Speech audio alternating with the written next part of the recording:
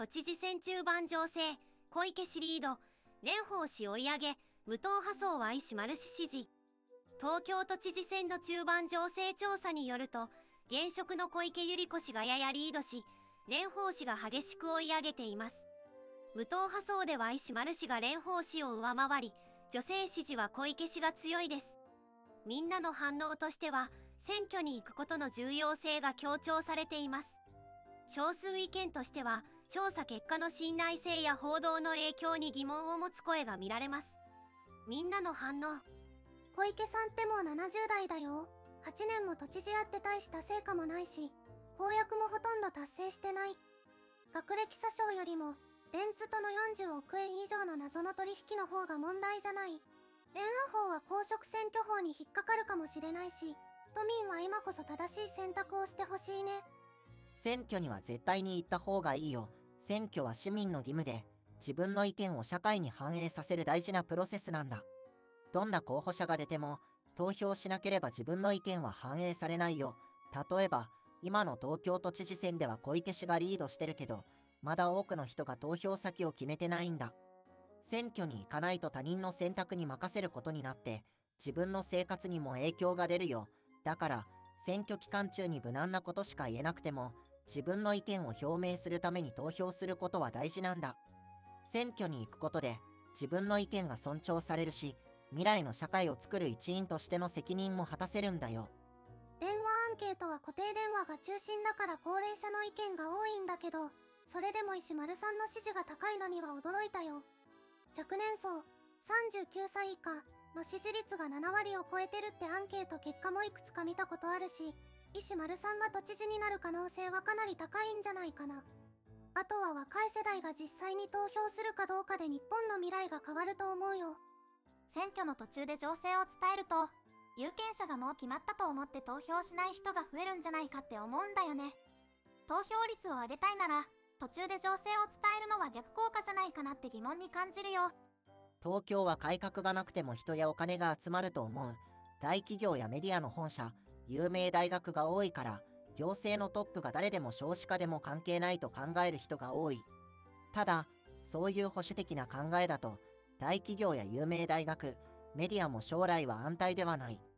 だから国政に対して今までと違う答えを出すのも面白いかもしれない。この調査は信用できないよ。メディアが勝手に選挙ムードを作り上げてるだけだからね。でも石丸氏が出馬したことで無党派層や政治に興味なかった若者が関心を持ったのは大きなプラスだと思う。やっぱり政策に芯があって真剣に政治に向き合える人に都政を任せたいよね。一般的に不祥事やスキャンダルがない限り人気満了での選挙では現職が有利で再選されることが多いです。特に東京都知事選では現職が負けることはほとんどありません。有権者の意思が積極的か消極的かは分かりませんが今回の都知事選では現職が勝つのか挑戦者が勝つのか都民の積極的な意思で次の都知事が選ばれてほしいです。現職の都知事が選挙中に都民に商品券を配るのって公職選挙法違反じゃないの？選挙期間中にやる必要ないし現職が有利すぎるよね。他の選挙にも影響出るしマスコミはちゃんと報道すべきだよ。投票日前に誰が有利とか不利とかの報告ってあんまり意味ないと思うんだよね。例えば丸候補が優勢って記事が出ると不動層の中にはじゃあ自分もその人に入れようって人もいればじゃあ自分が入れなくても大丈夫かなって思う人もいるわけで。そうなると状況が変わっちゃうこともあるし印象操作しようとしても逆効果になることもあるんじゃないかな。現政権に不満がある都民の皆さん今の都知事が続くと現政権を支持することになります。裏金問題や増税利権政治を変えたいなら今回の都知事選がラストチャンスです。若者も自分たちの未来がかかっているので必ず投票に行って明るい未来を作りましょう。50代の私もそう望んで投票します。頑張れ。東京都民の皆さん東京を本当に変えてくれる人を選んでほしいです。ネットでこの人がいいとか悪いとか言われてますが結局は皆さんの一票で決まります。一番良くないのは投票率が低いことです。特に無党派層の方が投票に行かないと政党支持層の候補に票が集まってしまい後で後悔することになります東京都民以外の人が何を言っても決めるのは東京都民だけですだからこそ納得できる人を選ぶためにぜひ選挙に行ってください都知事選挙でこんなにコメントが増えたのは石丸氏の選挙戦略のおかげだね。悪いことじゃないよ。そのおかげで、普通なら注目されなかった安野氏みたいな才能が世に出たんだから、ICT とか言っても、具体的に同社会に影響を与えるかをイメージしやすくするのは難しいけど、石丸氏の戦略でそれができた。これからの社会に、当選以上のインパクトを与えるかもしれないね。投票率が高いと民意が反映されやすいんだよね。逆に低いと偏った結果になりがち低投票率を望む政党もあるかもしれないけど選挙に行かないと組織票が多い政党や既得権益を守る政党が有利になるんだだからやっぱり高い投票率が大事だってことを覚えておきたいね電話での調査ってちょっと疑問だよね。18歳以上が対象だけど今は自宅に電話がない家庭も多いしうちもそうなんだ。固定電話だと年齢層が高くなるから若い人の意見が反映されにくいんじゃないかな。特にネットに怖い石丸さんは若い層に人気があると思うからこの結果だけで判断するのは難しいと思うんだ。みんな投票に行こうよ。選挙に参加することで自分の意見を伝えられるし地域にも貢献できるんだ。投票しないよりも行った方が社会を良くする力になるよだから自分に合った候補者を見つけて投票所で自分の思いを伝えよう。石丸候補は YouTube や SNS で急に有名になって告示後の勢いがすごいね。今まで注目してなかった人たちも取り込んでる感じ。この勢いがと1週間続けば詐称や国籍選挙違反に嫌気してる票をかなり取れると思う。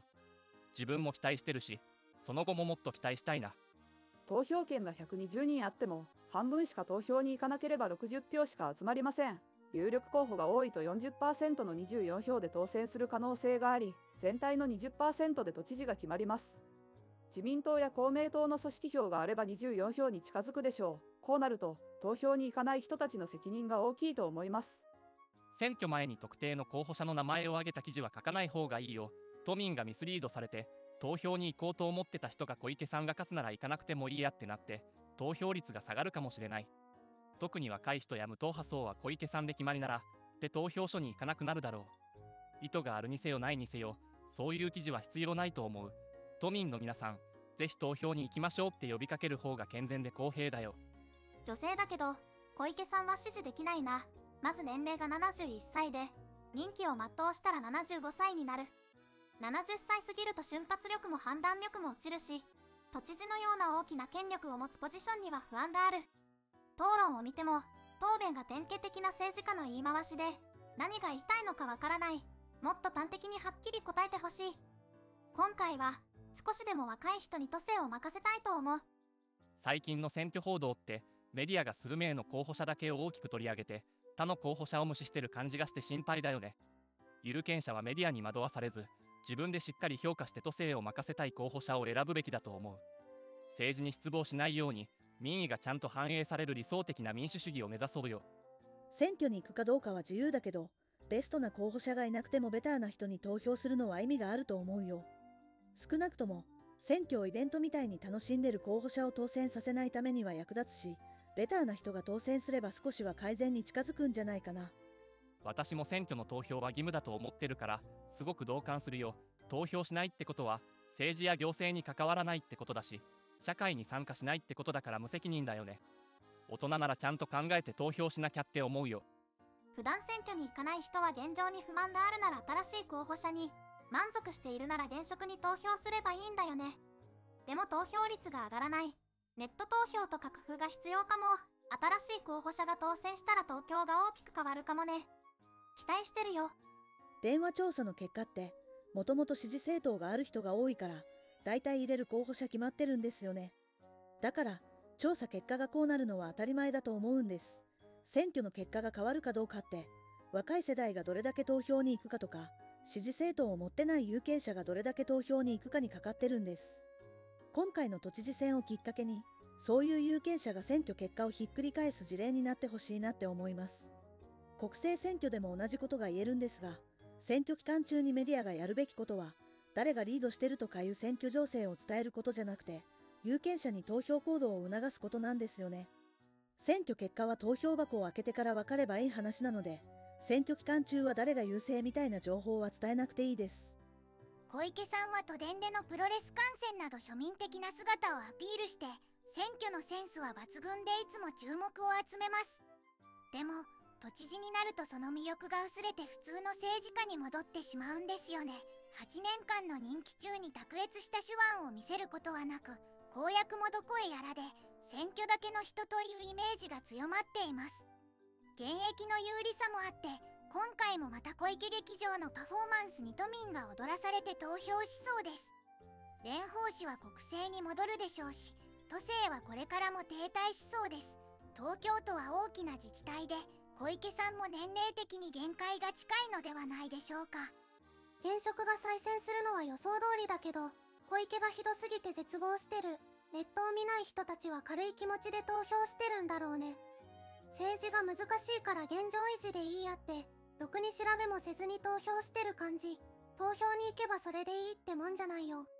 小池都政の過去8年の検証や討論会街頭演説のライブ視聴無名候補の公約とか今は簡単に調べられるんだからもっと真剣に考えてほしいな。石丸さんの少数精鋭にするために教育へ投資ってすごく理にかなってると思う。少子化対策しても人口減少は止まらないから優秀な人材を育てるために教育環境を改善するのは必要だよね。優秀な人が教師を目指せるように待遇改善とかも大事だと思う。調査は固定電話だけを対象にしてるんだって。携帯だとエリアが限定できないかららしいでも今時固定電話持ってるのって年配の人が多いよね。ネットリテラシーが低い層に偏るから印象操作っとく感じるな。実際に調査結果を見たら全然違う結果が出るかもね。少子化や経済縮小が進む中早急な対策が必要です。特に東京の選択が日本経済の鍵となります。10年20年先を見据えた政策が重要です。都民じゃないから選挙できないけど40代の候補者に市民ファーストの志を感じるんだ。他の候補は保身主義っぽいしね。現職が有利って記事も見たけどこのチャンスを逃したらこの人に託したいって思える人はもう出てこない気がする。組合や職場の関係で投票が縛られてる人もいるだろうけど今回は自分の気持ちで投票してみたらどうかな。若い人たちには未来を変える若い都知事を選ぶために参加してほしいんだ。祖父母や両親にも前回の公約がほとんど守られていない現知事を変える必要があることを伝えて未来のために投票してほしいとお願いしてほしい。若者の投票意欲が60%超えたって報道あったけど全体的には関心薄い感じ。自民党が若者の政治への諦めムードを作ったのが現実。すぐには解消難しいけど今回の選挙で目覚めてほしいね。石丸氏が小池氏をリードしてるって記事もあるけどそんなのは誰に聞いたかで変わるし印象操作かもね。小池さん討論会でパーティ券の質問に答えなかったりしてちょっとメッキが剥がれてきてる感じ。オリンピックの失敗とか電通との癒着問題も追及してほしいよね。小池さん築地や豊洲の土壌汚染問題で期待されて都知事になったけどその後の対応も含めて結果を残してきたとは言い難いよね。選挙に行くのは大事だけど候補者や専門家は前回の投票数や天気イベントの有無で結果を予測してるから新しく誘導してもあまり意味がないんだよね。だから選挙に行きましょうじゃなくてネット投票とか選挙のやり方を変えようって訴えるべきだと思うよ。確かに東京は財政的には豊かだけど共生の意識が足りないと思うんだ。東京の人口は地方からの人たちが集まってできてるし隣の県とも共生して成り立ってるんだよね。だから何もできない政府を頼るよりも能登の復興とか予期せぬ事態への対応や支援は都道府県同士で連携を強めることが大事だと思う。そういう意味でも東京のリーダーには自覚と責任を持つ人が必要だと思うんだ。小池さんの反対票が蓮舫さんに集まらず石丸さんに流れてるね。石丸さんの人気が予想以上で驚きだよ。東京都民じゃないから選挙権はないけどこの選挙には注目してる。投票率が上がることが大事だと思うよ。マスメディアの電話調査ってほとんど固定電話にかけてるんだよね。ランダムにかけるけど固定電話持ってるのって主にお年寄りとか商店の人たち。携帯電話だと地域が特定できないから都民の世論調査も固定電話持ってる古い住民や商店主が答えることが多いんだ。だから固定電話持ってない人たちは調査に答えられないわけで結果が偏っちゃうんだよね。今はスマホや SNS 使う人が増えてるから石丸真二氏の支持も実際はもっと多いんじゃないかって思うんだ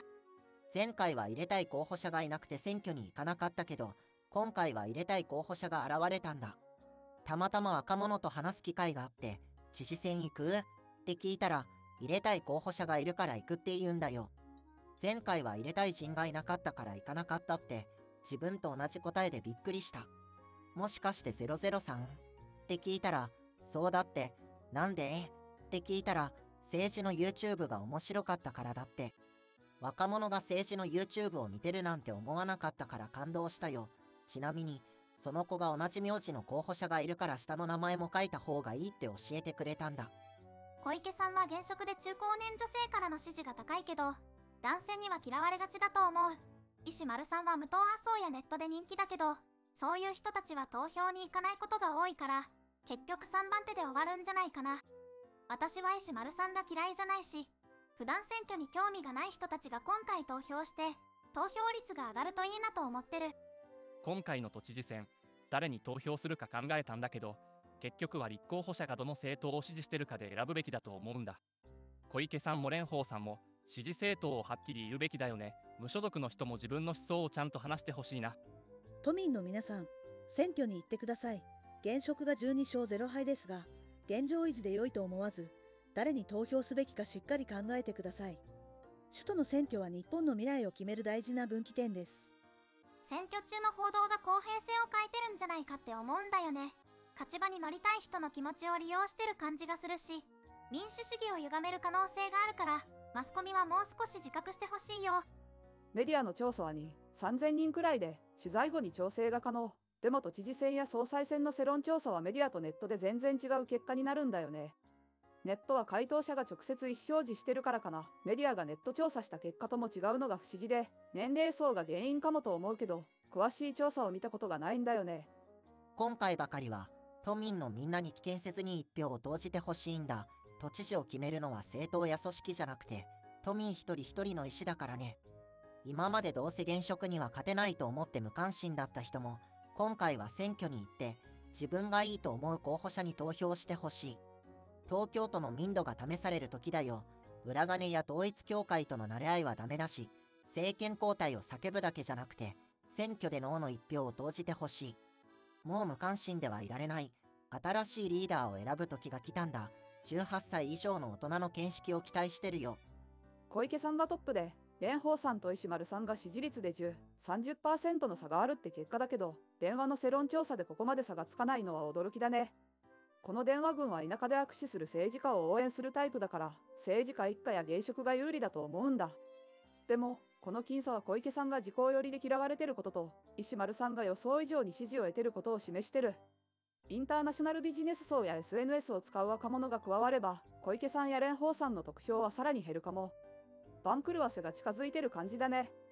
報道に対して疑問なんだけど、各社が取り上げてる主要4候補って何を基準に決めてるのかがわからないんだよね。4人のうち前回の都知事選に出たのは小池さんだけで、他の3人が主要っていう理由が見えないんだよ。確かに50人以上が立候補してて、全員が本気で都知事を目指してるとは思えないし、選挙運動もしてない人も多いんだろうけど、それでも報道が偏ってる気がするんだよね。特に桜井さん、前回の都知事選で小池さんの次に得票したのに、今回全然触れられてないのは納得いかないんだよ。だから、報道では主要候補って概念をなくして、こちらの方々が立候補していますって一覧を画面に映すだけの方が公平だと思うんだよね。前回は自民党から情報をもらって記事にしてたけど、今回は少しはマシになったのかな。でも、こういう報道に意味があるのか疑問だよね。候補者も有権者もあまり嬉しくないだろうし、自分は都民じゃないから、テレビで競馬を見てる感じだけど、競馬って最終コーナーからが本当の勝負だよね。先頭を走ってる馬が一着になるとは限らないし、いいポジションから勢いを保って駆け抜けた馬が勝つんだよ。既得権益を守る層や保守層は強固で、必ず投票に行きます。この構造を変えるには無党派層の動向が重要です。都知事選は無党派層の影響を受けやすく、ネット世代や若者の行動が全国から注目されています。昨日期日前投票してきたよ。7月7日に急な出張とかで投票できなくなるかもしれないからね。それに候補者の政見放送や他の情報をたくさん見てもう選択を変えることはないって思ったんだ。自分の一票を無駄にしたくなかったしね。この選挙は投票率で結果が変わると思うよ。今回の都知事選は日本の未来を左右する重要な選挙だと思う。今までの政治じゃ日本は良くならないのは過去30年を見れば明らかだよね。討論会でイエスかノーの質問に答えられないのも不安だし、とにかく投票して、有権者の力で日本を変えたい。当チャンネルの意見として東京都知事選挙においては各候補者の政策や実績をしっかりと見極めた上で投票することが重要です特にまだ投票先を決めていない方々には選挙に参加し自分の意見を反映させることを強くお勧めします。